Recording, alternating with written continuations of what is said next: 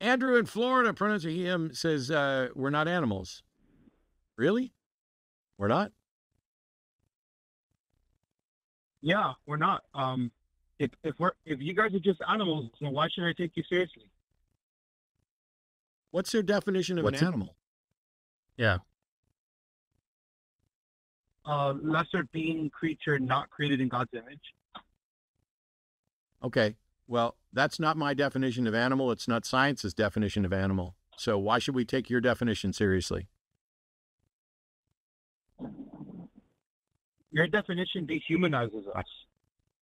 No, I'm a humanist. I'm a secular humanist. I, I I exalt humans over everything, including your God. But my question was, if your definition of animal isn't a scientific one, why should we take yours seriously?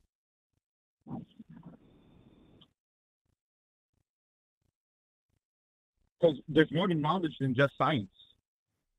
I, I'm sorry, Andrew. Did I ask any question at all about knowledge? I said, why should we take your definition seriously? You have a definition of animal that doesn't match a scientific definition. Why should we care what your definition is? Because if we if we do this, then now I have to worry about every single person on the planet and what their very narrow definition of animal is. And so your definition means that when you say we're we're not animals, you're not talking about the scientific definition. You're not talking about science at all. You're just saying we're not lower creatures that weren't created in God's image. We are the creatures created in God's image. Now, if you want to make that claim, then the animal world word is irrelevant. You don't have to call in and say, hey, we're not animals. You should just say, I know that we're created in God's image. And then we'd ask you, how can you prove that? Um. Okay. Yeah, it's just um, we cr- Christians get criticized for believing in talking animals in the Bible, but you, atheists believe in talking animals too. And Yes, because my definition of animal includes human beings, because I'm using the scientific one, which is animals are multicellular eukaryotic organisms in the biological kingdom of Animalia. That's the first line of the Wikipedia entry. I just read it to you. And that means that humans are there. And so some animals, like human beings, can talk. Um, the animals that the Bible says can talk, or that the animals that the non-human animals that the Bible attributes talking to, uh, we have no evidence that they can talk. We have I have, I've got 130 snakes in the other room. None of them have ever spoken a word. Um, I I realize the Bible says serpent, and it may be interpreted differently. Um, but I've also been around a lot of donkeys on farms. They've never spoken. Um, so when people are mocking Christians for believing animals can talk, which I don't advocate for, because I fully understand that if in fact the Christian God existed, he can make an animal talk. It seem it would seem it would be completely unsurprising to me that God could make an animal, a non-human animal, talk. But you called in to say, we're not animals, we're made in the image of God. So why not just say, you're here to demonstrate that we're made in the image of God? um, okay, So Uh, say it. but you're looking for natural um methods, natural epistemology. I'll, I'll do my balls. Uh, I assume you won't take theological or philosophical um arguments, right? Just I, just I want a, scientific I want ones. I want an argument supported by objectively verifiable evidence. If that takes the form of theological stuff, that's fine too. Okay. Um, if an entire okay, so here's so I guess here's a good argument. Um, if we if we see if we see an entire animal species getting extinct, we would just shrug our shoulders. But if we if we get extinct, you would we would freak out. We would freak out immensely.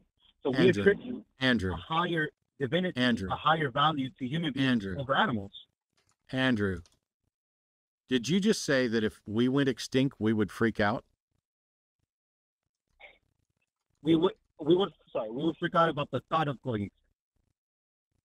extinct. Sure. if other species So- extinct, we wouldn't. We would just shrug our shoulders. That's So, so I, I, I don't want to monopolize all this, but I'm, I'm, my, my brain is going a million miles an hour right now. So, when other species go extinct, some of us don't shrug our shoulders. As a matter of fact, some of us work with conservation efforts to try to avoid them going extinct. However, your argument is in no way a demonstration that we're made in the image of God. Your argument is one where we are selfish. Your argument is if we say something else, something bad happened to a non human, we shrug it off. And if we see something bad happen to humans, we don't shrug it off. But that is about our self interest. It has nothing to do with whether or not we're made in the image of God. So I'm still looking for an argument that we're made in the image of God.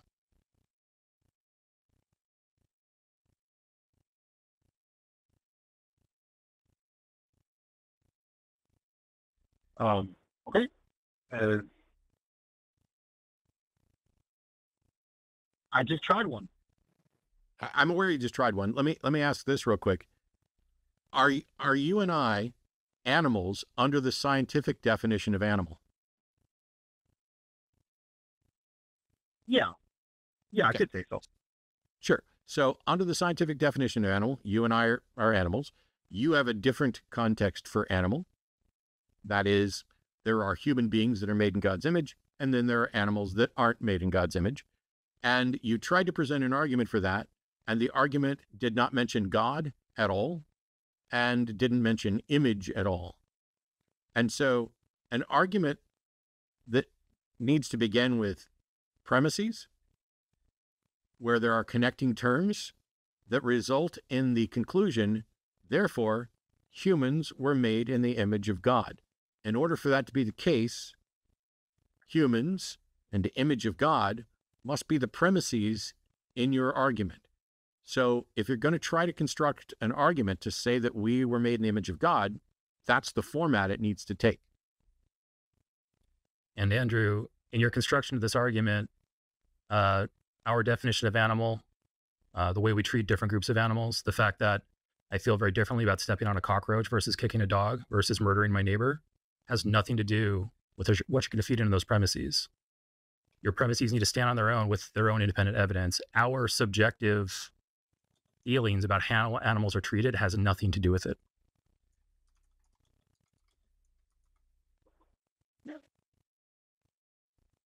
Okay. Mm, I, I- don't want to say just the Bible tells me so because that, I mean, that doesn't work with you guys.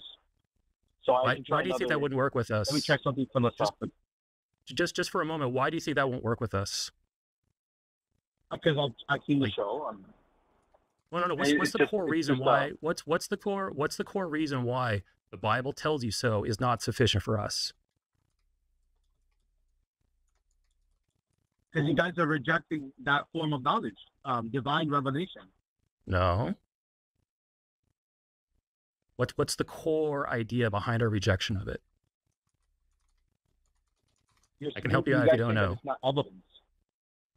It's not good evidence, right? So you can you can bring forth an anecdote and say that's evidence, sure, but it's not good evidence for an extraordinary claim like we're trying to bring forward. That's the reason. So if you can bring forward a Bible claim and then back it up with evidence, you might be getting somewhere. It's like, do you believe that we're made in God's image just because the Bible says so?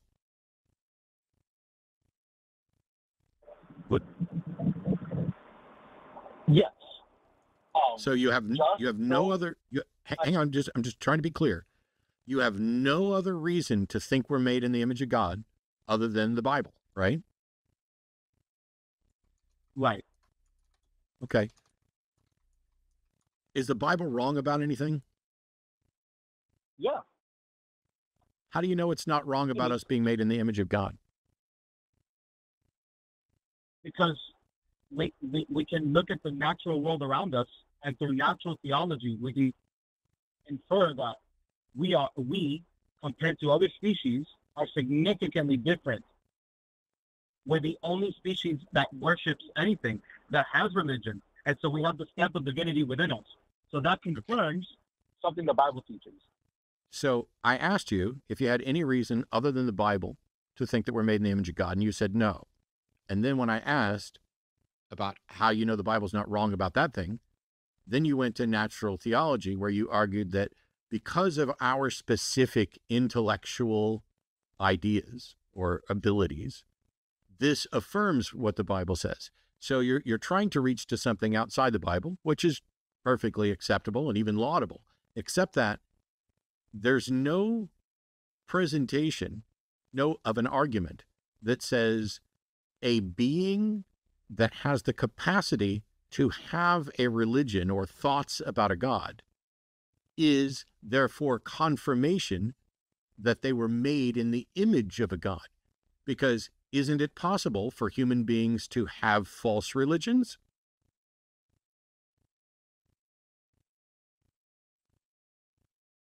False religions. I do not think so. So all religions are true? The way you're using that word true, I would I would disagree, but I think all religions are valid. All so And- every religious every religious belief that includes a god, what if it includes 50 gods? Which of those gods are we made in the image of?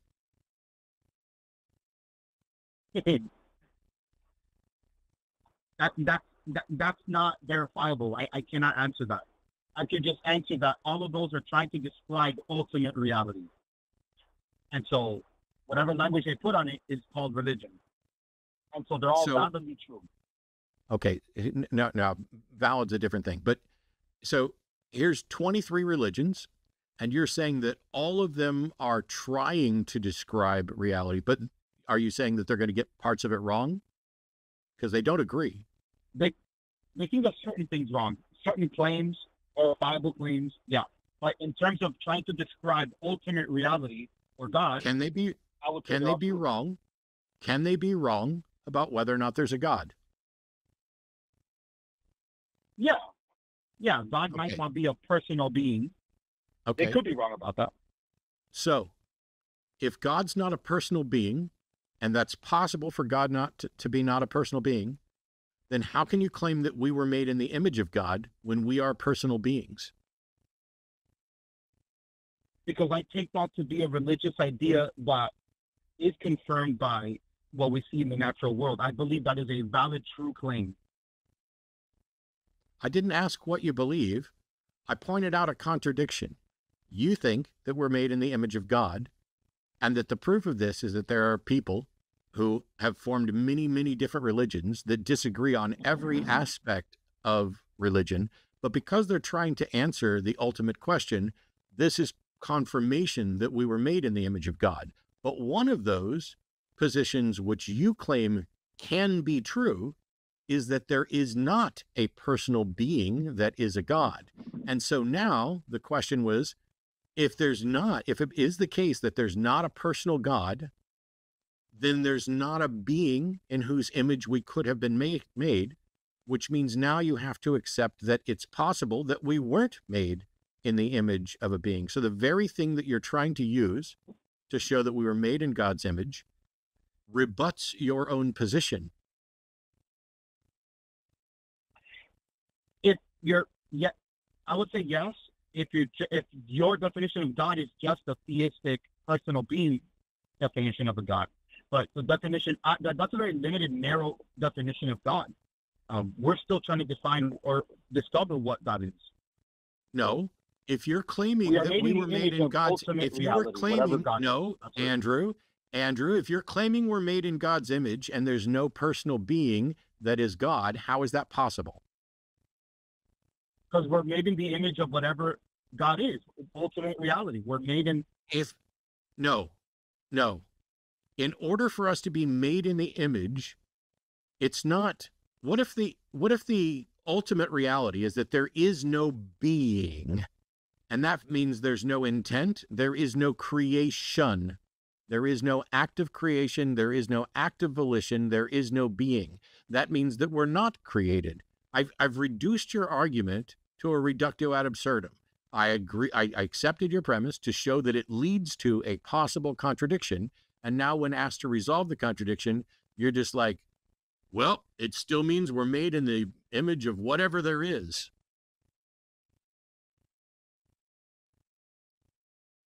okay.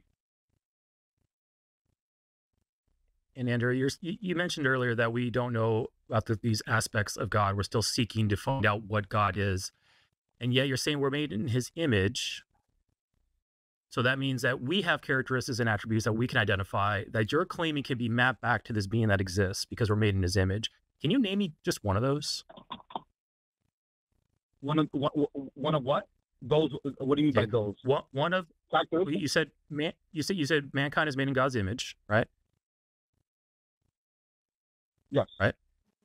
Okay. Which means that God has certain attributes that he imbued upon man because man was made in his image, right? Yes. Attributes. Okay. Attributes. Yeah. Okay, what's one attribute that we possess that supposedly this God possesses? Of this God That's, that's a result of your argument. No, no, no. We're, we're, we're, we're, we're, we're getting to the result of the argument here and showing you that you have not made the logical uh, steps needed to get to that conclusion. So, what's one attribute we possess that this God also possesses, according to your claim?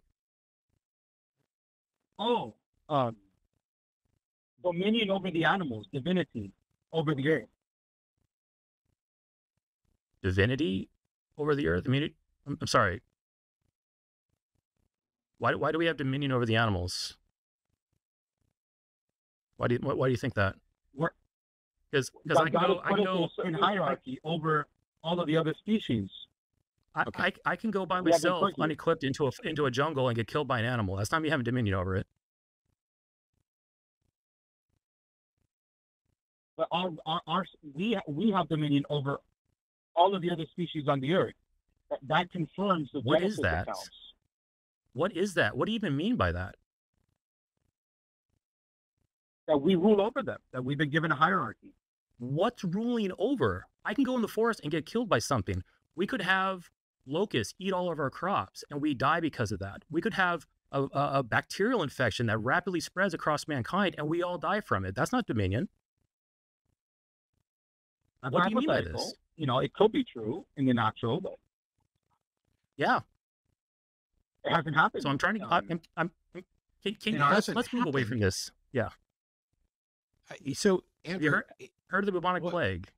yeah, what what you were asked was, hey, name a characteristics of, of God that you think we were made in the image of.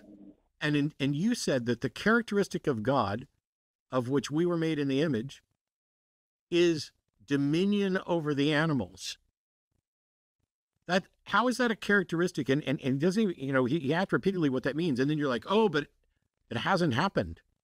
Um, what do you mean it hasn't happened? There have been countless plagues. There have been people killed by animals on a regular basis. What what dominion is it that you think is actually happening? We're the dominant species on Earth. Nothing, no species even compares to us. We're the rulers of this Earth. I. what do you mean? That's what I mean. What makes you think we're the rulers of this earth? We have complete control and dominance over all of God's other creations. Yeah, no, no, no, what nobody do- what-. Would you answer the fucking question with what you mean? If if we ask you what do you mean and you just say we do, you haven't answered the question, Andrew. What do you mean when you say we have complete control and dominance over every other thing on the planet? Because that's not fucking true. You have no control over cancer, do you? No. No. Do you have if you were locked into a box with a fucking lion, do you have control over that lion?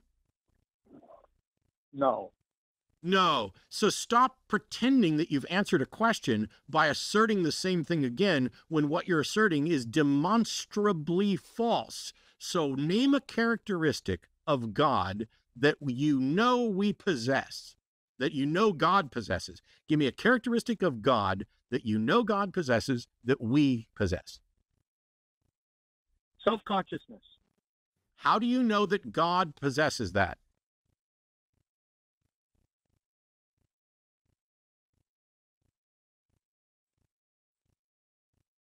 That's what I thought. Name another characteristic Yeah. that you know God possesses.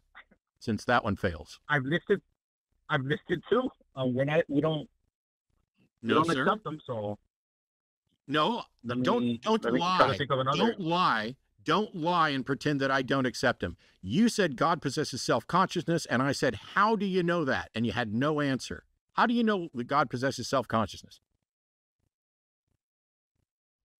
I believe it. I don't know it. I didn't ask. I didn't ask you. I didn't ask so you. I didn't ask you, and I will never fucking ask you to reassert what you believe. I asked how you know it. Because we have self consciousness. Okay, we're- Andrew, now let's Andrew, let's. Yeah. go ahead. uh, So you want to complete? Go, go ahead and complete your point, Matt. Well, what you said is you say we're made in the image of God. And when I ask what characteristic God has, you say self consciousness. And you think the reason that you know God has self consciousness is because we, we have it, which makes your argument entirely circular and therefore fallacious. Eric, your turn. Yeah, let's attack this from a different angle, Andrew. Uh, are humans gullible? Yeah. Okay, therefore your God's gullible. Right?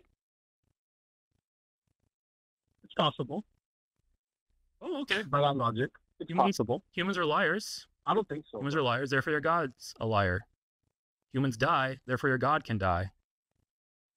Are we crossing any lines here that feel uncomfortable for you? Yeah. Okay. Which But one? Those are assumptions. Um, Go- we could no, no, no, no, no. I'm, I'm going by your logic here. We're going by your logic. If humans possess a quality or a characteristic, that's an image, a reflection of the God that created them. So humans are gullible, liars, and they can die. Therefore, your God is a gullible, lying person who can die. Does that not compute with you? It don't sound right, but I'm just following your logic. yeah. Okay. So here's here's what's here's what I think is going on in your head right now. You're saying, wait, that doesn't sound right. God's not gullible. God's not a liar. God cannot die. Therefore, there are attributes, characteristics that humans possess that God doesn't necessarily possess. Right? That would that would be the only way you could handle that type of rebuttal. And if you go there, you now have to ask yourself, how do I separate the attributes that humans have that God doesn't from the attributes that humans have and God has? And that leads us right back to the original question How do you know anything about this God? Because your line of reasoning doesn't get you anywhere.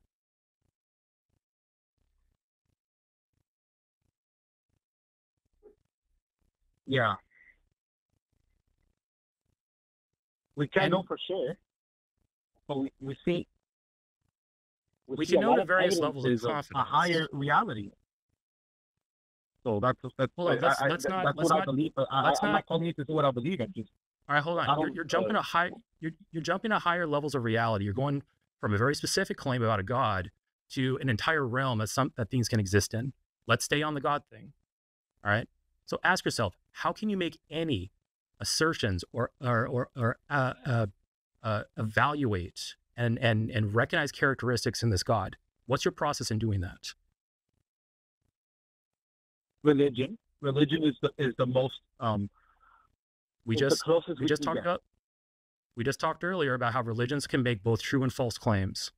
So pointing, hand waving at a religion doesn't get you there, because a religion can say false Wait, wait, things. but, but we believe science, and science makes false claims, and and science You don't doesn't know everything. science. And we're growing in our knowledge, and and, and Okay. it's like our religion. We make false claims and true Okay. claims, and we're I growing our knowledge. So science and religions are two two completely different processes. I'm asking you. You said religion. All right. I'm asking you, how do you know religion is reliable means to do that? Attacking science does not answer the question of how religion is reliable to do that.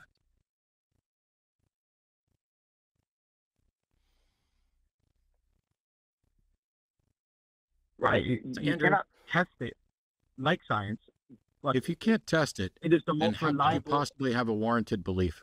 If if, if you are you saying you believe things that you can't test? yeah, we can't test like an afterlife. Yes, and that's why I don't believe there's an afterlife.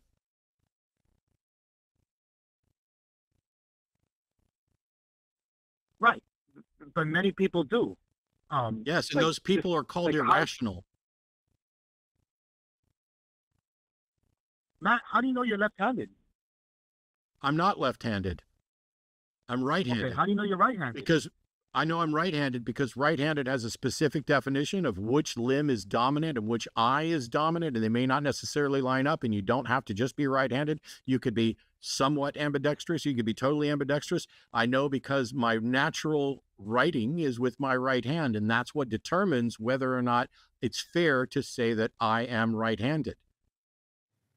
Can you do haven't anything remotely close? Can you do anything remotely close to what I just did when I ask you, why do you believe there's an afterlife? Close? Yes, I would say close. When we when we have religious experiences, we our mind enters into like thought process of ultimate reality. We we get a little glimpse of it, just like the way you know you're right-handed. We we, we, No, uh, no, sir. we, No, sir. I have no, sir. You have no evidence and no glimpse into anything that is in afterlife. You cannot demonstrate that at all. It's it's frankly The way you just did, like it, it's frankly sorry, disgusting for you to pretend that your evidence for an afterlife is even in the ballpark of my evidence for me being right handed. Those two things are so categorically different in the capacity to demonstrate them that it's like, it's almost like you're a cartoon at this point to go from, hey, how do you know you're right handed? And somebody tells you, to, well, that's how I know there's an afterlife. That's bizarre.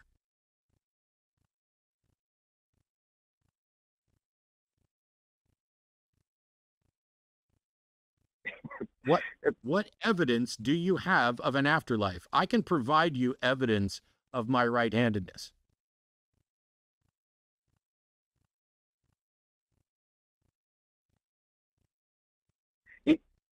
we're we're not. I, I get, I get, I pretty much gave the best we have, the closest thing that we can call evidence Th- through religious experiences, such as Muhammad going to the moon, or I'm, I'm sorry, going to heaven, or the Apostle Paul going up to the third heaven. Uh, with all these re- What the fuck are um, you talking about? What? No, Andrew, what the fuck are you talking about? Where, when did Apostle Paul go to a third heaven and how do you know that's true? And if you can get anywhere near demonstrating that Paul went to the third heaven with evidence that is comparable to what I can present for my right handedness, I will convert to Christianity on the spot and shut down this entire fucking show forever. You liar. Andrew, you're conflating religious experience with claims of religious experience. How do you know Paul went to a third heaven? How do you know? How do you know Paul even he's a existed? witness to it. He himself He's is a witness to it. what? He's a witness to what? What third? What's the third heaven, and how's Paul a witness? And how do you know? I, I, don't know. I can't describe what, what it is. He said he couldn't Yeah, talk about you it. can't describe what it is. So stop pretending that the bullshit that you believe that you have zero demonstration of is on the same footing as whether or not I'm right or left-handed. It's not. It's embarrassingly bad. It's like when you called in trying to be all cocksure right off the outset. We're not just animals. We're not merely animals. Oh, but I'm sorry. Under my definition of animal, which is a scientific one, which Eric shares as well, you agree with us that we're animals. So you are dishonest from the first words out of your mouth. Because we are animals under the definition that we're using and under the definition you accept from science. You have an esoteric personal definition that doesn't match science or mine. It, if you said that I liked vanilla ice cream, and I said, I do not like vanilla ice cream, and I defined vanilla ice cream as the pile of excrement that comes out of a cat's bottom into the cat box. And you said, well, that's not what the rest of us mean by vanilla ice cream. And I'd be like, well, tough, because in the image of the Lord High Cat, that's what I'm going to call vanilla ice cream. You got to use the same terms and the same understanding as people. So if I called in and said, I don't like vanilla ice cream, and you were like, I watched you eat vanilla ice cream yesterday. No, you watched me eat what science and, and people who speak English call vanilla ice cream. But what I'm referring to is that turd in the cat box, and I don't like that. Do You realize how silly this is for you to use esoteric terms and definitions and then call in to deny reality. We are animals. You're an animal, Andrew. You're an animal according to science. You're an animal under every definition that matters. And your personal definitions that make appeals to things are things that you cannot demonstrate. You don't have any evidentiary warrant to think they're true and are a complete waste of everyone's time until such time as you can provide evidence for it.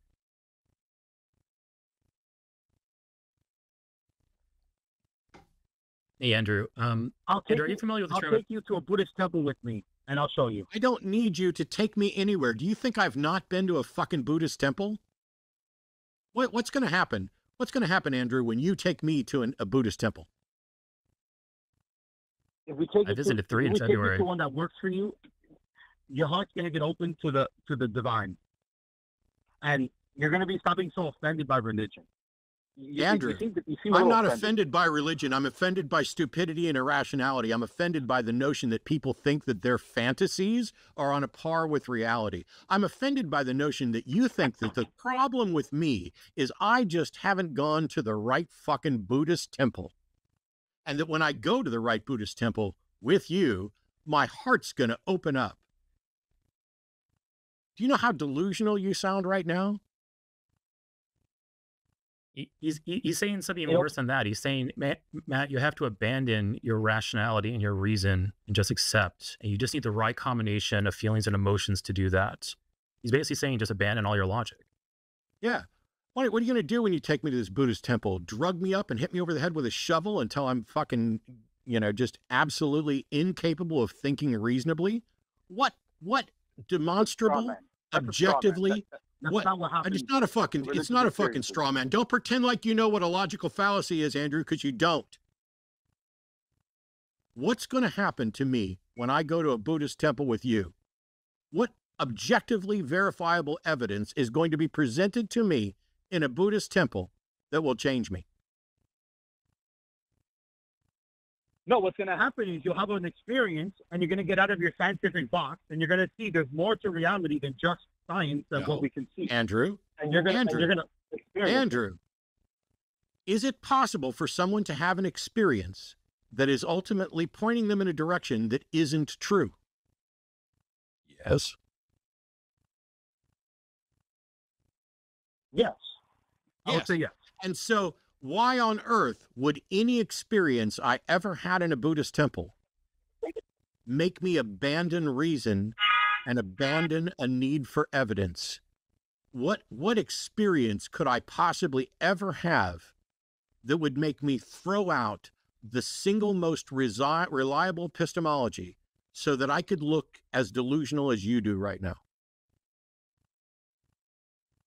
No, you're delusional. I didn't throw out science. I've accepted your science. You're the delusional No, one you who's not don't. accepting another form of knowledge.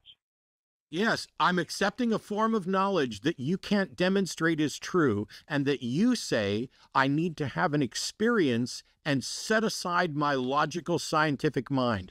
Don't pretend like you accept science when 30 seconds before you uttered that, you said I needed to get out of my scientific mind.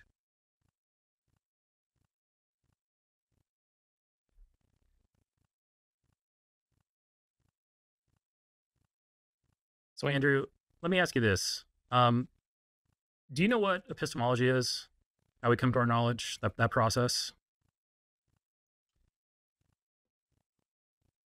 Might yeah. How, how we come to know Okay. anything? How we come to know anything? Okay. No, no, no. Hold on. Focus on my Like, how do I know? How do I know right. if someone loves me? Andrew, You focus on my just say, question, Oh, please. science. Andrew, Andrew, focus on my question here. Okay. This is the last thing I'll ask you. Why are you employing one type of epistemology for something you really like and you have emotions attached to, but you're applying a different epistemology to everything else in life? Because if I brought if I brought 10 people to your front door and I said, "Hey, Each one of these guys wants to give you $10 million. You just have to give them your social security number, your mother's maiden name, a copy of your driver's license, and the deed to your house. Is the process you would use to evaluate that claim the same as the process you're using to evaluate your God and what it offers you? No, they're Would you go different, off of feelings and emotions? Ways of verification. There's different ways of verification, but there's also a different process you go through as you look at the claim, evaluate the evidence, determine whether that evidence is good or not, and whether they actually support the claims, whether the arguments are valid and sound. There are two different processes here. The process, and I, I even say this without even asking you, I would say that the process you use to evaluate whether those guys promising $10 million, you're using a much more robust and less problematic, more airtight process to evaluate that than you are when you come to religion. Because when it comes to religion, by your own admission, you're saying it has to be feelings and emotions and experiences, and you can just try multiple temples until you finally hit one that just gives you the right the right uh, feeling before you accept. I could turn that around and say, I'll just keep on presenting you guys with these claims. They want to give you the money, but they want all this personal information, and you'll just, you're just going to hit one that's just going to feel right. Like the, this process doesn't work in the real world. Why are you applying it to to religion? And and the ultimate question about things: shouldn't we be more robust, more disciplined when we come to evaluating those questions, not less? we should be disciplined in the in the manner that it requires. Um, I think it's that that's a false equivalency, and and Matt's getting emotional. He's getting offended that I'm saying science is not all there is. So he's the Oh my emotional, not me. All right, so I'm going to mute you to pretend that after I sat here all this time, that I got emotional and offended, when the reality is that we have hand walked you through fallacy after fallacy after bad argument. And now I'm frustrated, not because you have some truth, but because you don't seem to care about the truth, don't seem to care about any pathway to truth. And now, rather than presenting any argument or evidence about a God, you're just suggesting that I've gotten offended and emotional. What offends me is that you don't give a shit about a pathway to truth. You admit that religion isn't going to lead you to truth, faith isn't a pathway to truth. Your epistemology is admittedly broken, and yet you are sitting here telling us that we need to get rid of the most reliable epistemological foundation that we have and instead rely on your admittedly broken epistemology in order to come to some truth. I am frustrated and offended, not because you have a truth, but because you don't seem to care about any pathway to truth. So, once again, stop pretending that you have some high ground here and answer the question at hand, which is Do you have any objectively verifiable evidence for any of your religious beliefs? Do you? I've, I've given, I've tried to give several, so I, I can't give any. Bye, goodbye, and this this is your 33rd and final call. Don't call me again. Because are do you think you're going to be able at any point in the future to call in and present that evidence? I've tried, so You've tried. You've tried, you've tried, and you failed, and you think that the failure is on my end, right?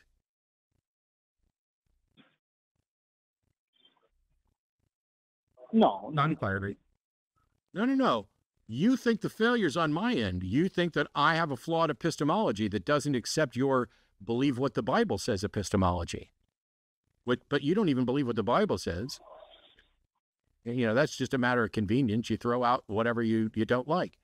Do you think that there's any likelihood that even if I came to Florida and let you take me to a Buddhist temple and I had a wonderful experience, do you think that's going to change what I understand to be broken epistemology versus real epistemology, reliable epistemology? I, I believe it's possible, but I don't think you have to break your epistemology. That's not that's not really my point. Okay, Andrew, if I don't have to abandon my epistemology, then why can't you present a case for your what you believe is true that matches my epistemology. I, I just can't match your logic and science.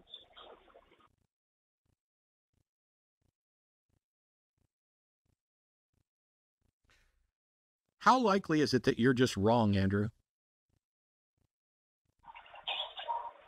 It's possible. And so what I asked. Can you, put a percentage value on it, Andrew? Just, Yeah. just, just How likely is ballpark it you'll it. ever What- actually answer the question you're asked the first time? zero to 100%? How likely is it that you're wrong? Just ballpark. I don't know, but it, it's got to be more than 30 or else I wouldn't be calling multiple times. Okay. So you, you that would indicate you have a desire to find the truth, right? Of course. Okay. You think that the process by which you reach those truths or those uh, uh, confidence in those truth claims, you think the process is important, that it be robust and accurate? Yes, I've accepted your scientific Okay. epistemology. I, So I we're- do believe So we're important. We're talking. Okay, great, good. All right, good. You accept the scientific epistemology process. You accept that there are epistemologies at play here, right? So why are you abandoning the robust, accurate ones that we use for literally everything else in life? Even even the technology right now, where we are talking to each other at literally the speed of light over copper wires that science gave us, a process that we know works. Why are you abandoning all of that when it comes to the biggest questions of where we come from, what our purpose is, and whether there's a God or not. No, it- it- I don't think I'm abandoning it. I'm using it to verify religion uh, or, or You're- some you're- of their you're- beliefs. But You're invoking you're Um, invoking feelings and emotions at a Buddhist temple as evidence. Can you imagine a scientist doing that? Hey, if you come in my lab, you'll just get a feeling that it works. Let's publish a paper together. Can you imagine a scientist doing that? They laugh you out of the room. So why are you employing a different process than the process you use for literally everything else in life? Because because I, I I believe it's a different form of knowing a different reality. I believe it's a different process because it's a different type of You're claiming your Um, belief. just knowledge of reality. Like it, Okay. I, Okay. I, I gotta So- I, I I don't have any more So- time for this call. You, you don't have any more time for this call. Well, that's unfortunate because I was getting ready to ask the question that was going to blow your mind, but okay. See you later. Bye. Thanks for calling, Andrew. Hello, I'm Jimmy Snow, executive producer of The Line, and I only became a woodworker for the puns. That's not important. If you would like to support this channel, you can do so on our Patreon or as a channel member, and you can actually support specific shows and specific hosts in special tiers on those. Check those options out. Also, you can leave a super thanks and get a little highlighted deal. But if all else fails, you can always like, you can subscribe, and leave a comment. Now, here are some suggestions because I don't care about the algorithm. I am the algorithm. Bye.